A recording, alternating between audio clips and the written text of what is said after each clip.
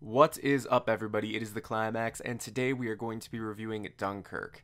Dunkirk is Christopher Nolan's new film. If you have no clue who Christopher Nolan is, he is a very, very good director. He uh, has directed the Dark Knight trilogy and Interstellar. And let me just say, he does not disappoint with Dunkirk.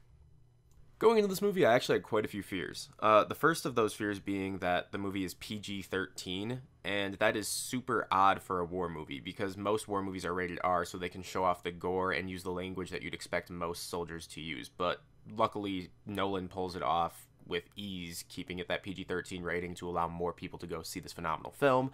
Uh, the second one being uh, Harry Styles being one of the main actors. Harry Styles, if you don't know who the hell he is, he's a One Direction boy band uh, lead singer. And you wouldn't, I was very worried about him, but Christopher Nolan said he saw something in the guy, and I can say he can act. Okay, Harry Styles can fucking act. And the last thing, which is my smallest complaint, is uh, the movie's not that long. I mean, it's less than two hours, which is incredibly odd for films these days, but it it doesn't really matter because the movie still ends up being great. So, for those who don't actually know the main story of Dunkirk or the plot to the movie, it's basically about British soldiers losing the uh, Battle of Dunkirk, and it's them on this beach trying to get home. Everybody's fighting to survive while they're just getting bombed from the skies, and when, whatever boats they have are getting destroyed by U boats, and they just have no way of escaping but it's actually a very uplifting story because as they're trying to escape, a bunch of civilians do come and they bring their civilian ships and get uh, most of the soldiers off of the beaches. Thank God. Okay, so to talk about the acting, so everybody does a good job, but who really actually stuck out for me would be Harry Styles, mainly because he's never acted before and he does a phenomenal job in this movie. He does a great job depicting the soldier that just is terrified for his life, doing whatever he can to get home.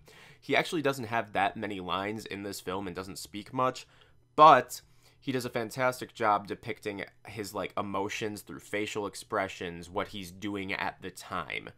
You know?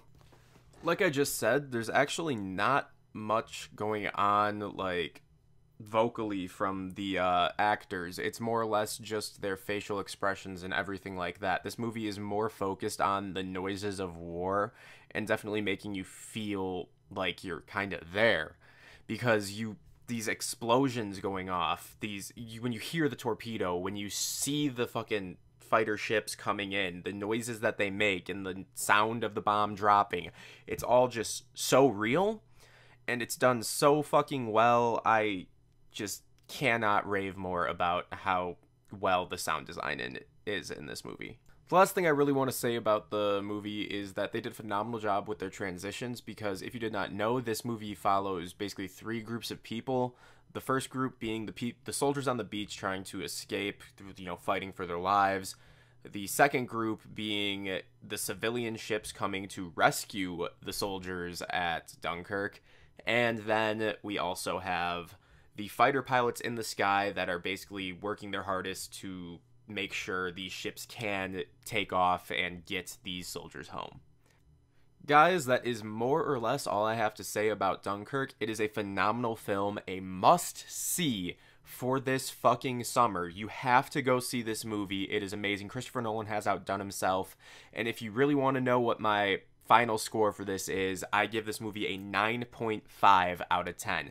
It is just amazing what Christopher Nolan did and Harry Styles and just all the actors in general. It you got to go see the movie. It's great. If you've seen the movie, let me know what you think about it down below. If you haven't seen the movie, go fucking see the movie, then let me know what you think about it down below. Or hell, just tell me if you had the same fears as me or just anything at all. I just want to hear what you guys have to say. Did you like the video? Did you hate the video? Tell me below, please. Anyway, it's been the climax peace. I'll be back with another movie review next week.